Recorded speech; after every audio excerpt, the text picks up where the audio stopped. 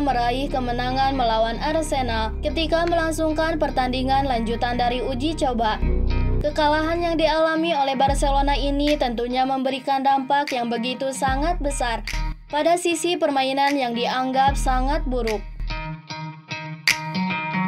Banyak orang yang tidak mengetahui bahwa Arsenal sebelumnya adalah tim yang buruk. Dan tentunya kekalahan yang dialami oleh Barcelona ini adalah karma yang berlaku setelah Laporta mempermainkan nama Messi. Está difícil ¿qué?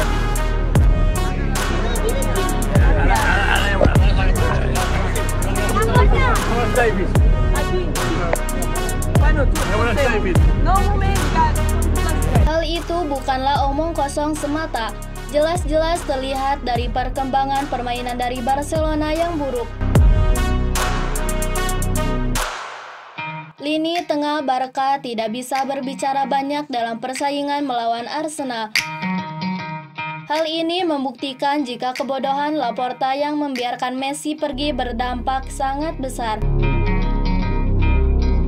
Di sisi lain, Messi berhasil mengangkat tim tidak terkenal menjadi tim unggulan di MLS.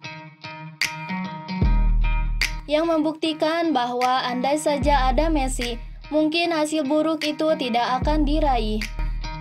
Ini hanyalah uji coba.